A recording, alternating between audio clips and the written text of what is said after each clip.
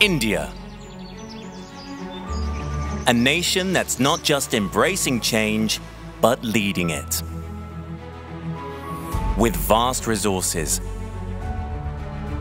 a thriving economy, and a young, progressive population, India has prioritized energy security whilst firmly setting its sights on a low-carbon future, creating an abundance of multi-billion dollar investment opportunities in hydrocarbons, renewables, LNG, biofuels, and across the wider energy value chain.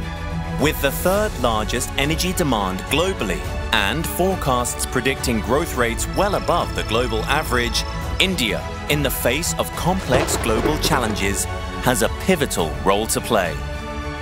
Hosted by the Ministry of Petroleum and Natural Gas in Goa from the 6th to the 9th of February 2024. India Energy Week is a powerful platform for realizing India and the world's ambitious low-carbon goals. The exhibition will see 350 exhibitors showcase their technologies and services to 35,000 international energy professionals. The conference will see 400 speakers, including ministers, CEOs, thought leaders, and innovators, address challenges and explore solutions to drive a collaboration fueled future with an audience of more than 4,000 delegates.